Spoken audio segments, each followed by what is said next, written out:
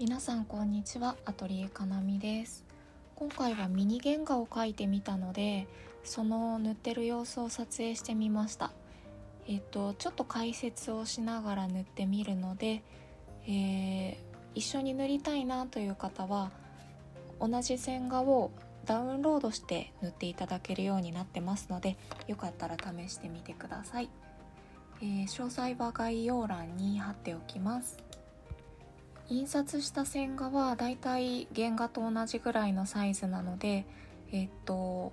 100均のセリアとかに売ってるこの丸いフレームを買っていただくと同じようにお家で飾っていただけます。まずは肌色から塗っています、えー、赤黄青で作ってるんですけど今回使ったのはカドミウムイエローミディアムと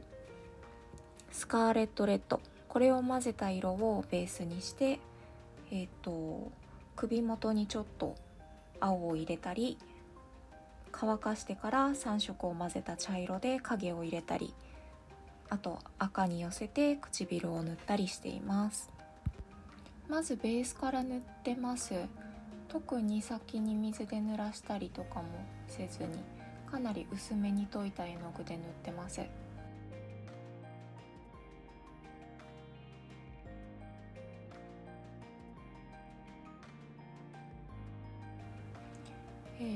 でその筆を置いた時に見える色より水を吸い込んで乾いた後の色の方が薄くなるので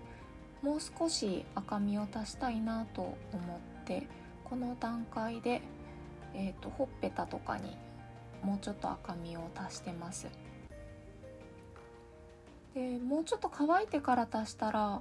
このほっぺただけが赤くなったと思うんですけどまだ結構濡れてる段階で色を足したので顔の赤みは全体に馴染んでいった感じですね。で馴染まなかった体の方とかの境界線がはっきりしてる部分は筆の絵の具をティッシュに取って、えー、なぞってなじませてます。で手前に線画が重なってるお花の葉っぱのところに少しはみ出たやつは水をつけた筆でえっ、ー、と色を抜いてます。でおでこがちょっと白く見えたのでおでこにも色をちょっと入れてます。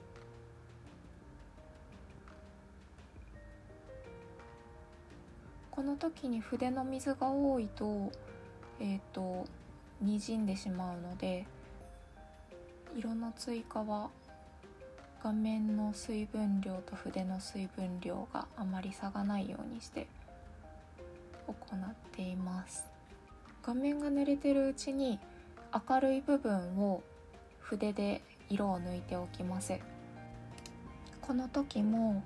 えーと筆の水は少なめにしておいて画面にある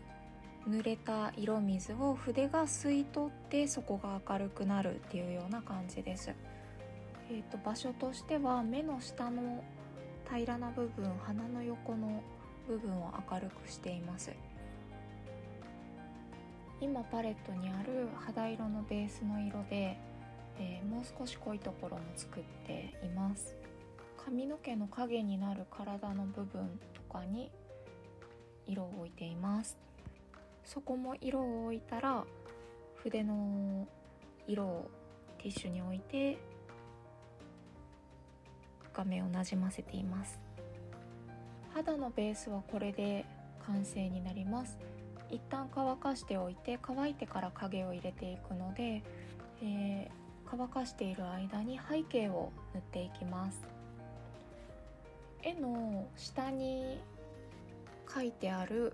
えーと、メモと色が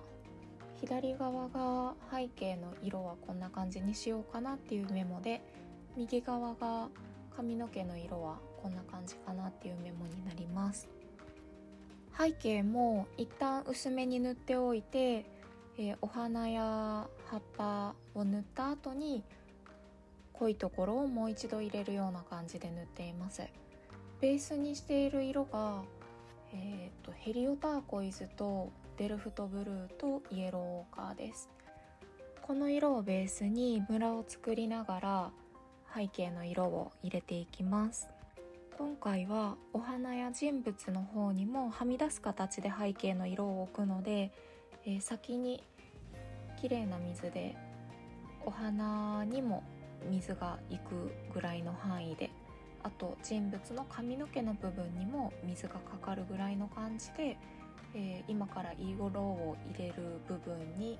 水を塗っています。この時肌色の部分には水が触れないように気をつけて塗っています、えー、水で濡らした部分に絵の具がにじんでいくので肌色のところまで水が入ってると今から入れる青色のえー、背景色みたいなのが肌にもかかってしまうので肌は、えー、このまま触らないように色を入れていっています。人物と花びらに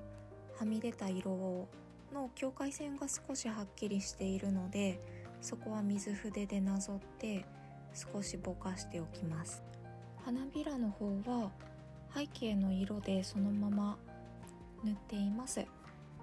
花びらは白いので白いところを残しながら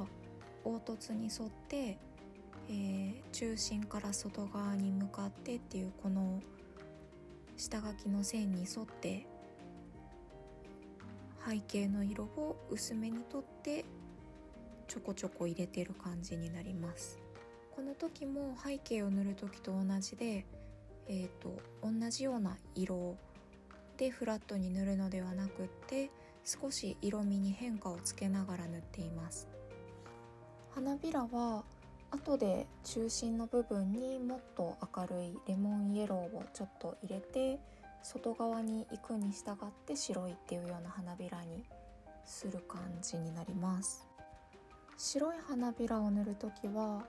えーと、紙の白を残す部分には水がつかないように意識してで、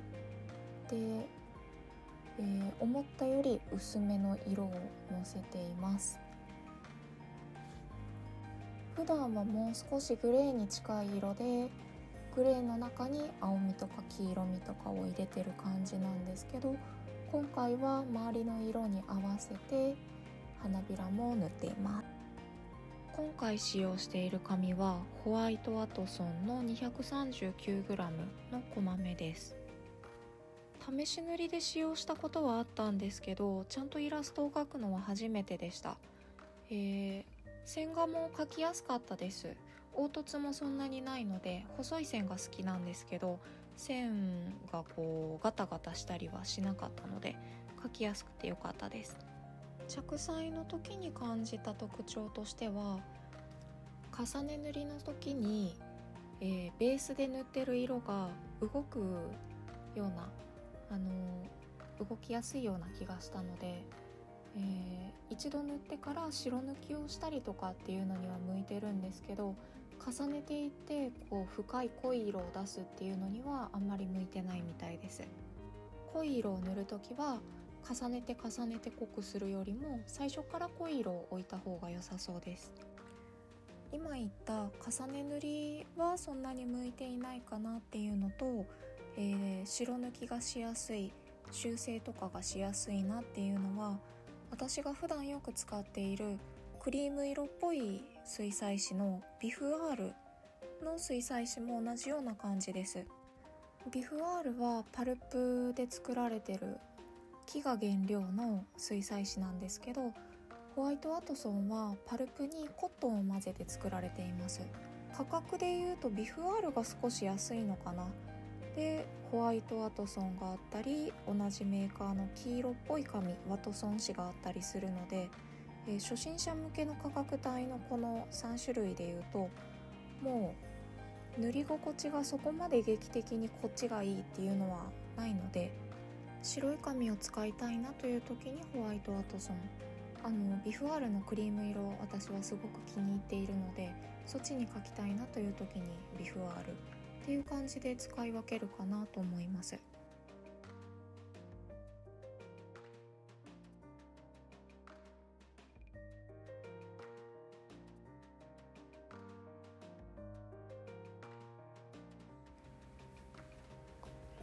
画面上では今からお洋服の方を塗っていきます。今回は特にそのシワがたっぷり入ったとかではなくってもうすごくシンプルな固めの生地なのかな。体にフィットした白いドレスっていうことで、えー、立体感の影だけを入れて特にテクスチャーを入れたりとかはせずに簡単に仕上げます。で花びらと同じように白いものに影の部分だけ入れる白い部分は残して、えー、薄い背景色と同じような色で影の部分だけざっくり入れています。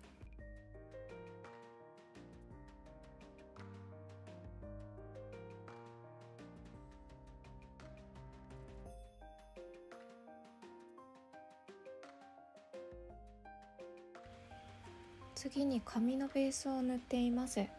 ベースになっているのはイエローオーカーとイングリッシュベネチアンレッドという赤茶色です。ここにちょっとした色味の変化としてフタログリーンをもう本当にちょっとだけ入れながら塗っています。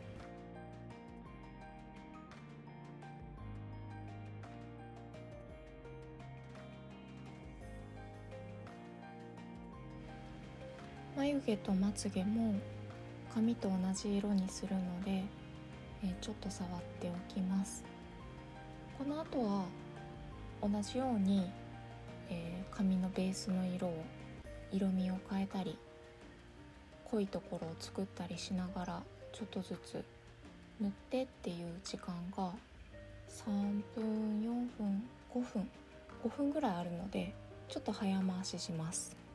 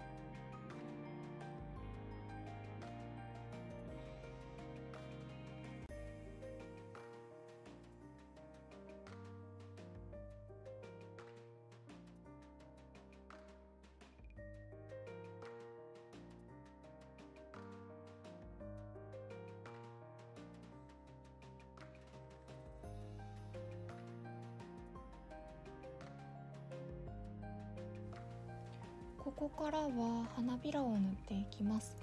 さっき白い花びらのベースの影は塗れてるので、えー、そこに黄色が反射してるのか本当に黄色いのかわからないんですけど元写真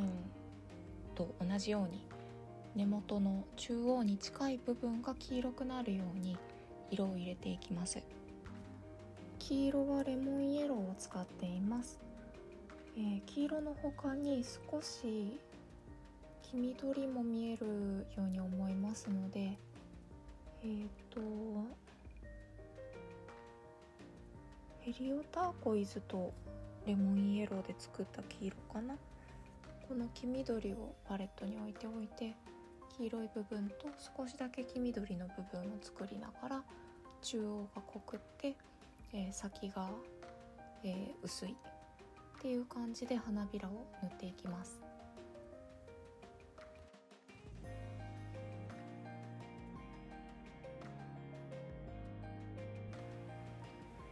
少し色をのせすぎたなと思った時は濡れてる間に、え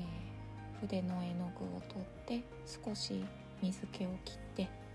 その水だけの筆で色を取っていきます。こちらも同じような作業が続くのでこの後ちょっと早送りします。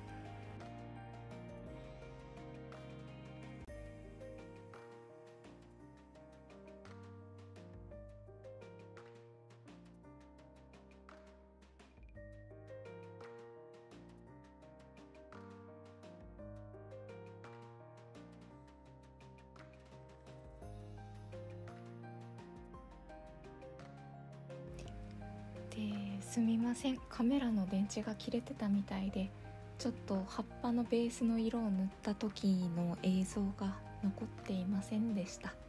ということで葉っぱのベースはもう濡れてる状態から映像の続きになります。すみません。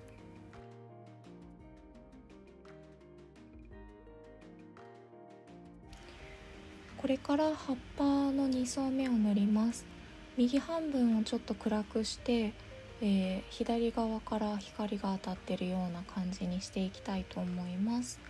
えー、影の色をちょっと色味を変えたりしながらでベースの色も葉っぱによって何色か使っています、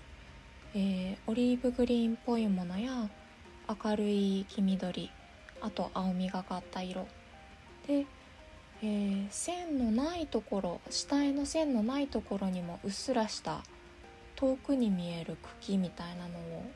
イメージして色をちょっと入れています。右側に入れた濃い色の境界線がはっきりしちゃうのでそこは水だけの筆でぼかしています。でそのぼかす時に、えー、左まで色が広がっちゃったらまたその色を水の筆で吸い取って消していくような感じで左が明るく右が暗くなるように、えー、目立つところにあるやつというか目につくやつは同じような作業をしていきます。ということでちょっと早回しします。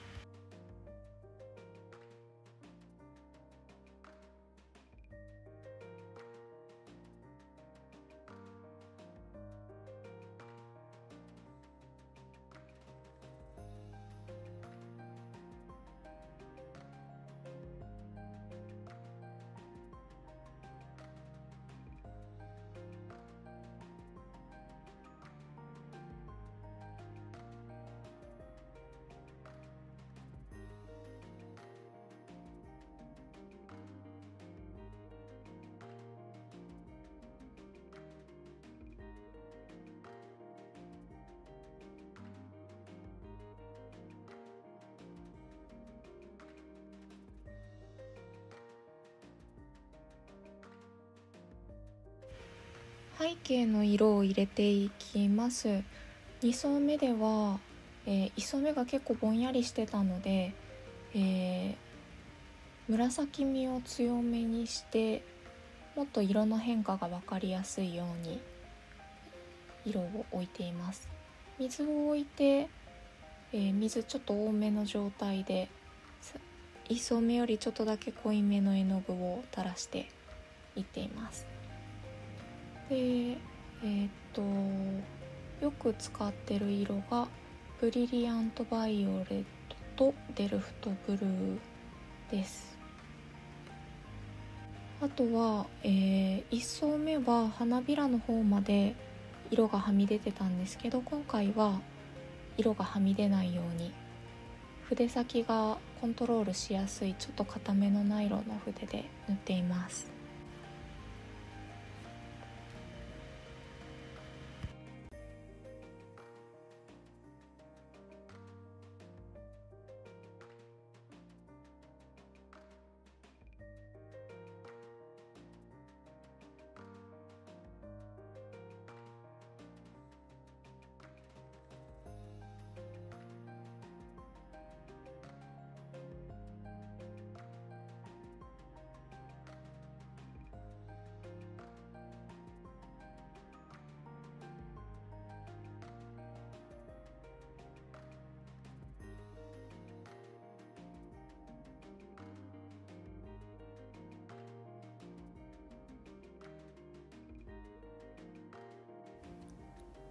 次に肌色の影を入れたり唇の色を塗ったり、えー、肌の2層目に入ります。細めの筆で髪の毛の際や首元を塗っています。影の色は最初に塗った肌色と同じ肌色に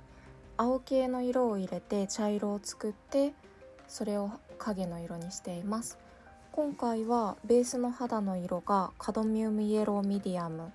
と,、えーと、スカーレットレッドの2色で作ってたんですけどそこにプルシャンブルーを加えて、えー、茶色にして塗っていってます。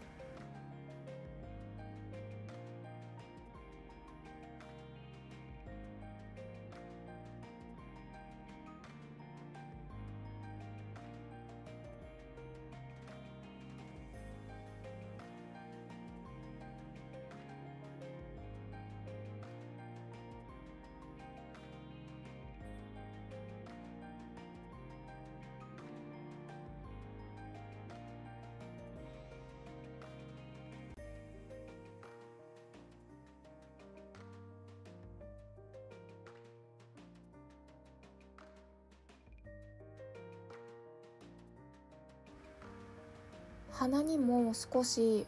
えーと、ベースよりも濃い色をのせてるんですけど鼻は、えー、茶色というよりは肌色寄りでそれか赤み寄りで色を作ってます。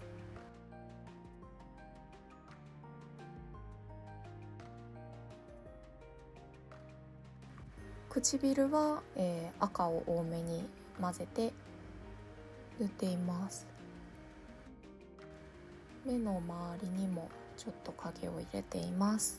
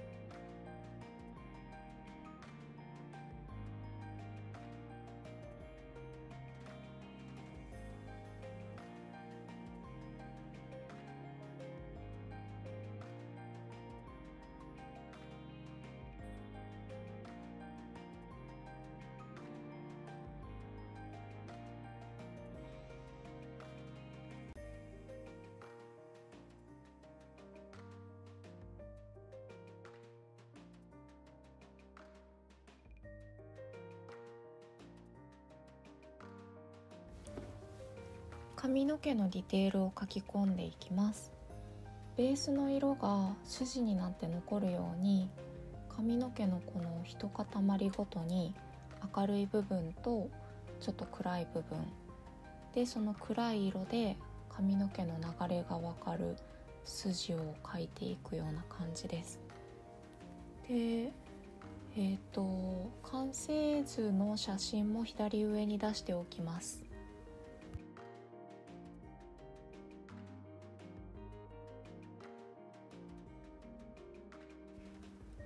映像を撮影してるお部屋と写真を撮影するお部屋で部屋の照明の色がちょっと違うので実際の色は完成図の写真の方が近いです。ちょっと,、えー、っと動画で撮ってる方は赤っぽい照明の部屋になってます。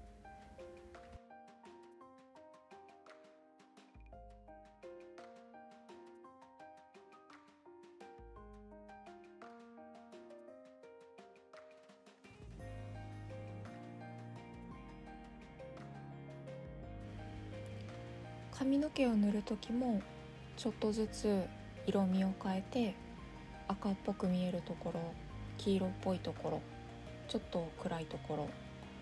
青みが入ってる暗いところみたいな感じで変化をつけながら塗っています。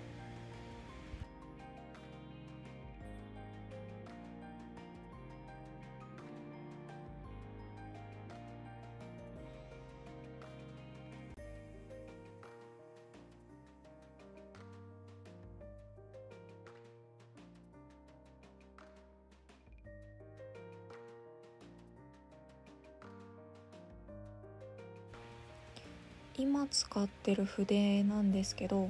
今回は線画がすごく小さいので、えーと、00番っていう細さの筆を使ってるんですけどホルベインから出ているニューリセーブルって書いてあるやつです。細めの筆です。これは私が持ってる筆の中では2番目に細い筆です。髪とか顔とかの細かいところは今回この00で塗りました。あと最後に一番細い筆を使って瞳のハイライトとかを入れてるんですけどそれはうん0分の10って読むのかな？10スラッシュ0みたいな細いやつです。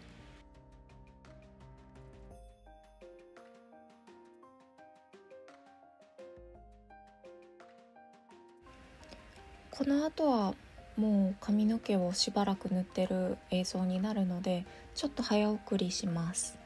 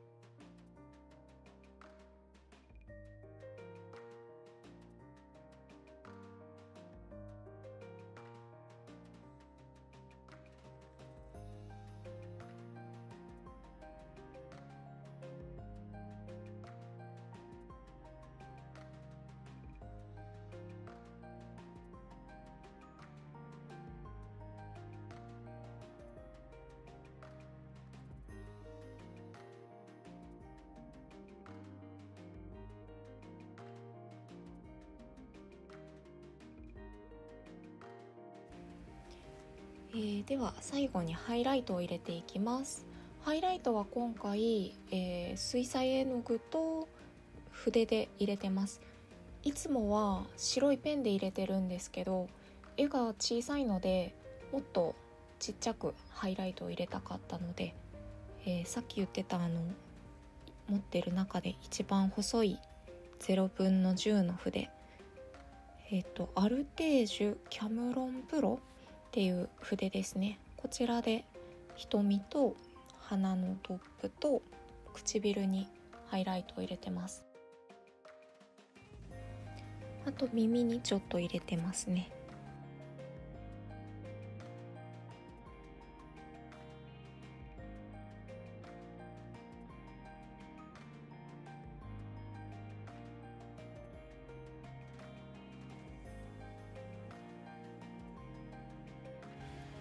れで着彩は完了になります。